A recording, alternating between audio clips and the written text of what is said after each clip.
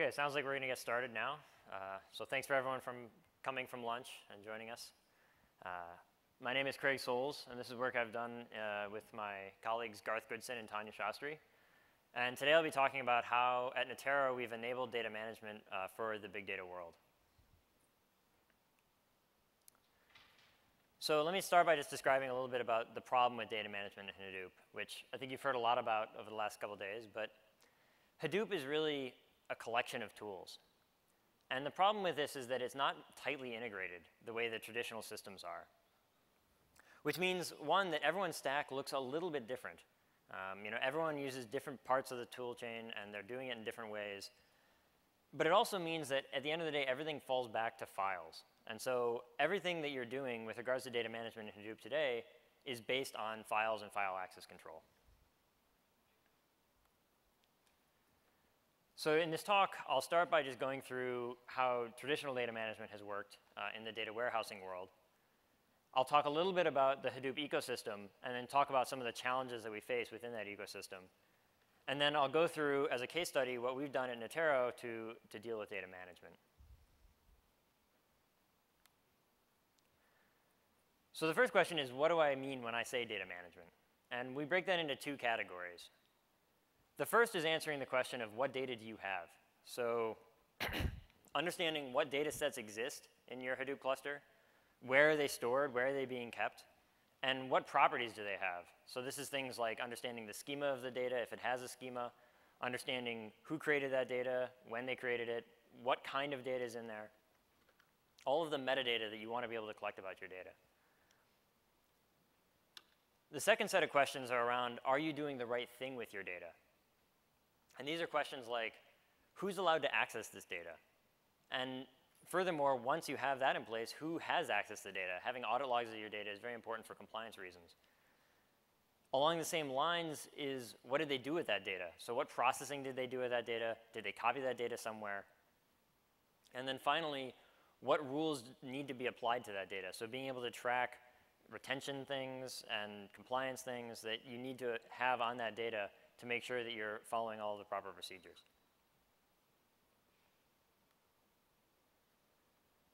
So in the traditional stack, it looks a bit like this. You've got external data sources, which tend to be transactional systems, point of sale, customer you know, management systems. And these tend to get ETL'd into your data warehouse. And the data warehouse is sort of the resting place. It's where you keep the data, it's where you manage the data. And the data warehouse has two really interesting properties. The first is that data processing and data storage are tightly integrated. So in the data warehouse, you don't refer to things based on the path that they live in. Instead, what you do is you specify through a language what tables you want to access, what processing you want to do on that, which allows the data warehouse to provide you with tight controls on that data. You can even go down and say, okay, these columns you're allowed to see, these columns you're not allowed to see. The second thing that a data warehouse gives you is it gives you a very narrow interface. The only way that you can access data is through SQL. And this also has the same kind of properties that it prevents people from doing things that you don't want to do with their data.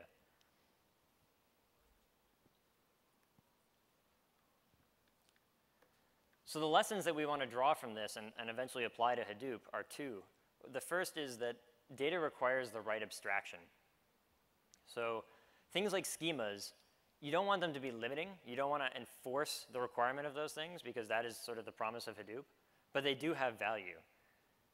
And the second thing is that you have to have an abstraction that's easy to reason about. Right? Tables are easy to reason about because you don't have to understand where the data resides. You can simply refer to it by name, you can refer to it by column, and you can get access to that data. The second piece is the narrow interface. So what's nice about SQL is it defines both the data sources and the processing that you're going to do on that data, which means that users don't have to understand where and how the data is kept, and you can understand what they're going to do with that data when they access it.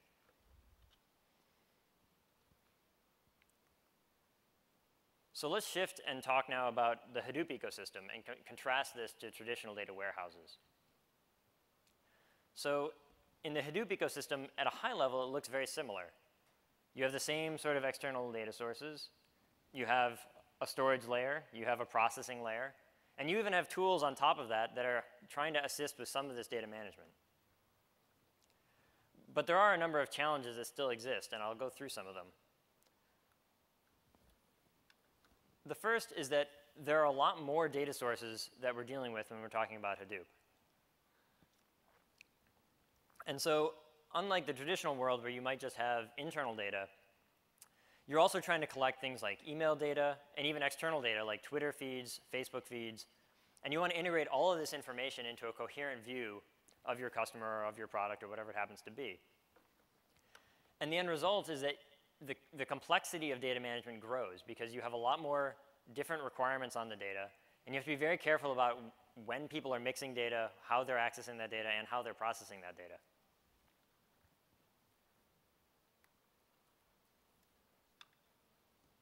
The second piece is that data can be accessed through multiple entry points. So unlike a data warehouse where you have to access things through that table abstraction, in Hadoop there's a, a whole slew of different ways that you can process data. You can use MapReduce, or you can use Pig, you can use Hive, and there are more and more of these things coming online every day. And tools like hCatalog or Oozie are there to assist you in managing the processes and managing the data, but they don't actually enable any kind of enforcement, which means that you can hope that people are doing the right thing, but you don't actually know it.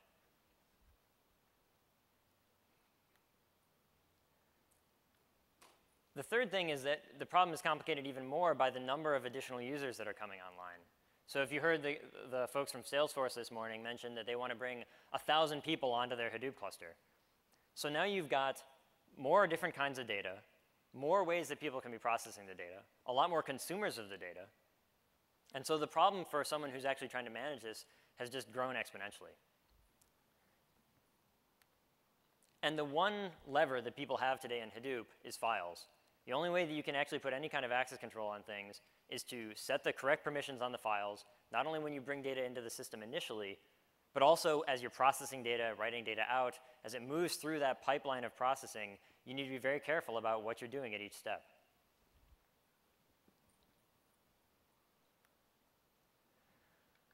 So we've proposed four steps to try and enable data management in this kind of environment. The first is to try and provide access at the right level, and this probably doesn't mean files. What it means is you need to understand your data and its schema and its uses. The second is to limit the processing interfaces. If you have people running raw MapReduce in your cluster, they can really do whatever they want and they can write that data out however they want. And so you need to understand what you're going to do with that data and choose the right processing interfaces.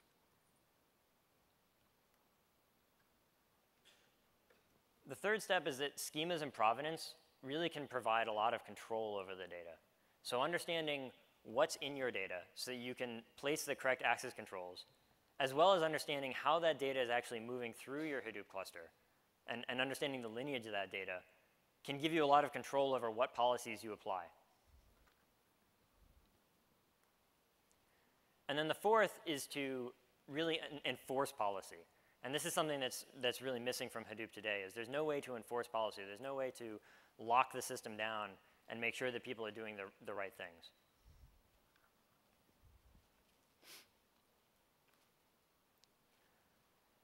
So now I'll shift gears a little bit and I'll talk about what we do at Natero and, and why it makes a good case study for data management.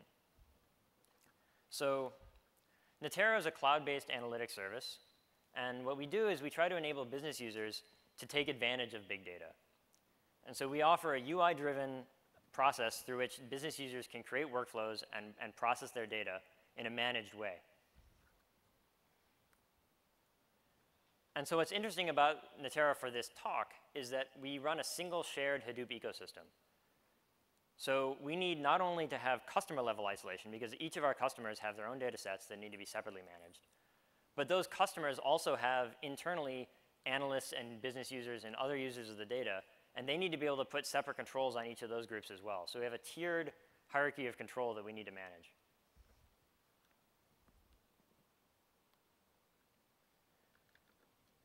And the goals are, one, to provide the appropriate level of abstraction for our users. So we want things to be easy for the user of the system so they don't have to spend time figuring out where data resides, how they can and, and should access it, and so forth. The second is to provide a finer granularity of access control. So again, files are often not the right answer. You know, if you have a, a, a, file that is really a structured JSON blob, for example, and it has a social security number in one of the fields, it might be perfectly reasonable to give someone access to everything except for that social security number. But at the file granularity, you don't have that level of control. The third piece is to enable policy enforcement. And what this means is not only providing the tools that enable management, but also making sure that people have only that one option through which they can access and, and process things in the system. And then the final piece is that users shouldn't have to think about policy. You know, if you have an analyst who's trying to use the cluster to do processing, he doesn't want to have to think about, oh, the data I'm reading from this source and the data reading from that source, you know, have different policies, so I need to apply this policy to the output and so forth. That, that's going to be too much for most people to think about. And so what we have is what we call source-driven policy management, and I'll talk a little bit more about that later.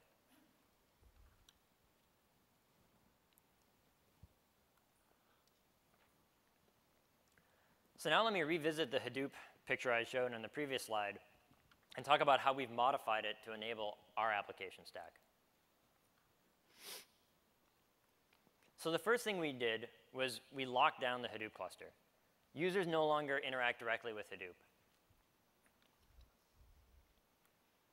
Instead, what users do is they submit jobs through a two-layer hierarchy. The first is what we call an access-aware workflow compiler. What this does is it understands what data sources users are allowed to access, and it understands how to take a job definition that they specify and convert that into things that can be run in the cluster. The second piece, which is the provenance-aware scheduler, is actually responsible for running those jobs. And so the user no longer interacts directly with Hadoop. Excuse me. Instead, he submits jobs through the compiler, which are eventually run by the scheduler, and the entire process is managed. The third piece that we've added is schema extraction. So whenever data comes into our cluster, we try to automatically extract whatever schema information might be available from the data. And it's the combination of this schema information, the policies that the IT staff are placing on, on the data, and the information about the execution, the provenance and lineage information that we're collecting that ultimately enable us to enforce policy. And if you think about the four steps I talked about earlier, we've, we've really gone through each of them.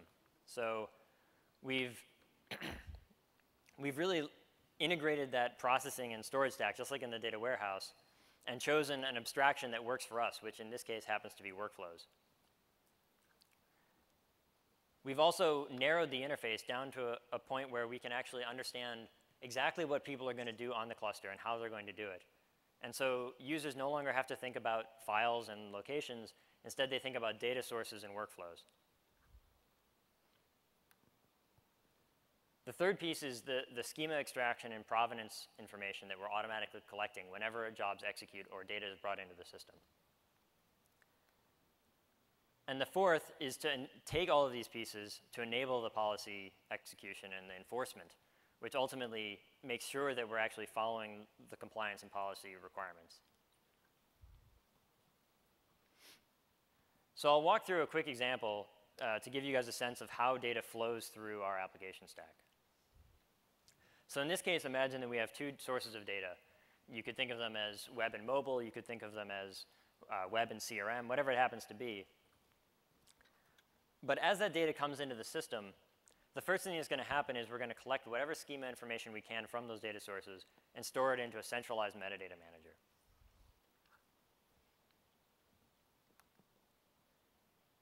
Now in our system, all the users operate through our UI. And so they define their jobs and workflows using the UI. And what's interesting about these jobs is that when they are specified, they specify the sources as one component, in this case, the, gr the green and purple boxes, and then the execution separately. And what this enables us to do is when the job compiler receives this job definition, it can actually check with the metadata manager and ensure that the user who's trying to execute on that data has the permissions to actually run this job. The job compiler then takes that definition and converts that into potentially a series of MapReduce jobs.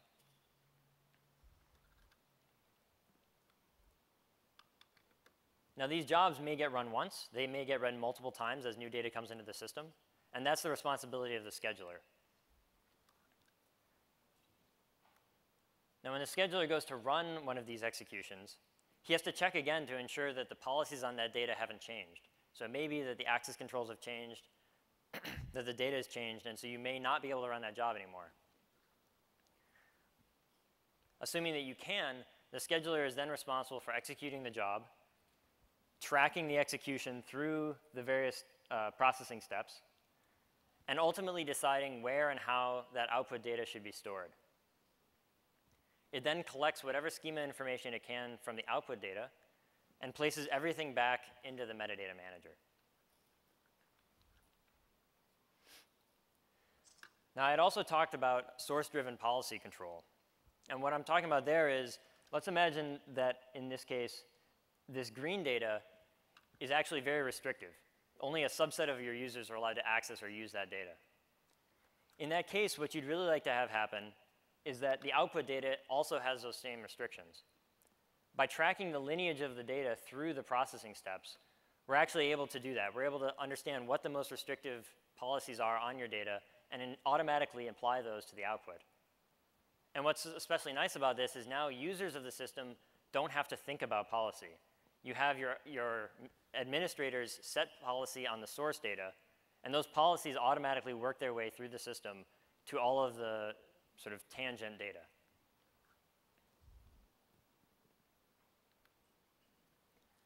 So what we've enabled here is one, fine-grained access control. Because we have all of the schema information, policy can be set down to the column level again.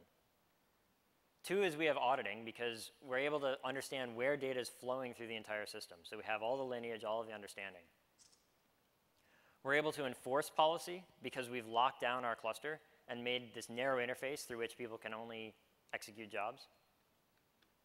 And we've made it very easy for users because users now don't have to think about policy, but are still able to do the right thing with the data.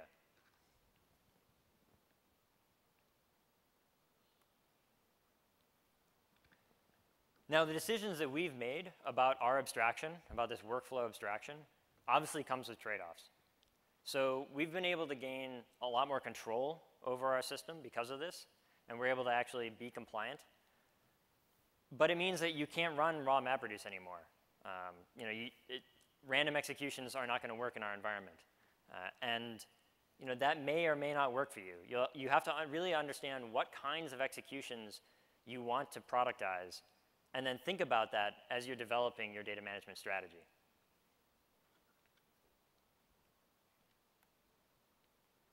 So I think there's a number of projects out there that are worth watching if you're interested in this space. So I'll just go through each of them briefly. The first is H-Catalog. And today, H-Catalog is really around data discovery, schema management. And I would say that in a lot of ways, H-Catalog fits into the same vein as our metadata manager. The problem is that H-Catalog doesn't actually do any enforcement. It's more of a guide and an assist than it is an actual way to ensure data management. Similarly, Falcon, which uh, is a pretty new project that just made its way into the incubator, uh, is about lifecycle management. And again, using Falcon, you can develop these workflows and come up with ways of replicating your data and managing your data. But again, it's a guide. It doesn't actually provide any kind of enforcement. And so that's why I think this third project is particularly interesting, Knox. Uh, and it's early days for Knox, but Knox provides centralized access control. It actually does some kind of enforcement. It limits what people can, can see and access across different Hadoop clusters.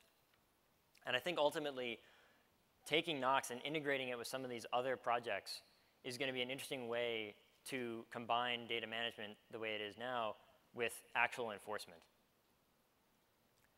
And then the last project I'll mention is the Cloudera Navigator, which today is really focused on auditing and, and helping people understand some of that lineage information.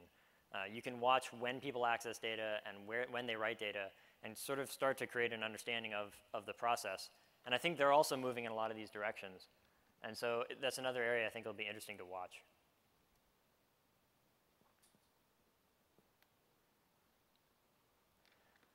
So I'll wrap up with just a, a few lessons learned. Um, the first is that if you want control over your data, you also need to get control over your data processing. So it's not enough just to deal with files. You really need to understand what people are doing with that data and where they're placing the output data. And metadata is extremely important to this process. Without collecting that provenance information and schema information, you're not really going to understand what people are doing and where the data is being kept, or be able to provide the kind of fine-grained control that in a lot of cases you need. And then the last piece is that your users are definitely not motivated by policy. Um, and you want to really, I mean, some of the point of Hadoop is to democratize data, is to give people more access to more data, more understanding. Um, but you still need policy. So you need to figure out how to enable policy without having it get in the way of users. Um, and our thought process around that is that you might be able to get your administrators and IT staff to reason about your data sources. And so if you can leverage provenance to really push policy down from, from the sources, it might be an easier way to deal with the problem. So at this point, uh, I'll take questions. Um, I've been asked to remind everyone to speak directly into the microphone. So. Could you explain, please, what your metadata means? Provenance and schema, or how do you work with that, and how do you organize it, and how does it coexist with other metadata? I see. So for us, metadata means a couple of things. So if you think about the source data, generally the first thing that you think about is the schema of that data. And what that means is, let's say you take some kind of semi-structured like tab separated, comma separated, JSON, they all have a schema to them. And so capturing that information and codifying it into a central location allows you to place policies on that information and, and track, you know, by attribute what people are allowed to see and what they're not allowed to see. The second thing, which is about the provenance, is understanding how data flows. So if you have data A and data B, understanding that B was derived by processing data A helps you understand whether the data in B is still sensitive. And so understanding how data is flowing, because if you think about Hadoop in contrast to a data warehouse, a data warehouse is really about a single SQL execution. Hadoop is about processing the data in a series of steps. It's pipelined. And as a result, you have a lot more steps, a lot more data moving through the system. And so you really have a much harder job, and you really need to track how that data is moving. Um, and then I guess the, the final piece is really just about, excuse me, the, the traditional things you might think about, such as specifically what policies need to be applied to data, so tracking those things as metadata, understanding who created the data, who owns the data, all the traditional sort of file-based metadata as well.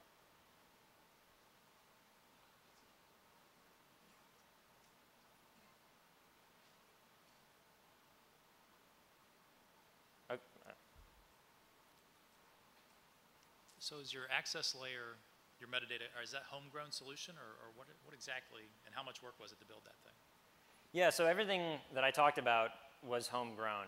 Um, and it's, it's varying levels of work. Um, so in terms of the metadata collection, a lot of that is, is built into our connectors. So for example, that was something we were going to have to build anyway. Um, the centralization of metadata, uh, you know, at the time that we started the work, H-Catalog was not where it is today. And so I think if you were starting from scratch, you would probably want to look carefully at that.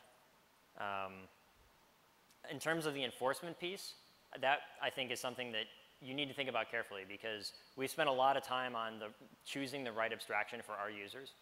And that's not something that I think is really transferable, right? I, I think that ultimately, depending on what you want to be able to do with your data, you need to pick the right level of abstraction. And I think I had it on one of the slides. You know, we started investigating ways of integrating, you know, pig scripts and, and Hive queries with some of the work that we've done around metadata. Um, and I think that you could try to go that route, but the broader you allow people to execute data, the more difficult it is to track and manage. So I think that's probably where you're going to spend the most of your time, and you'll have to figure out what makes sense for your application.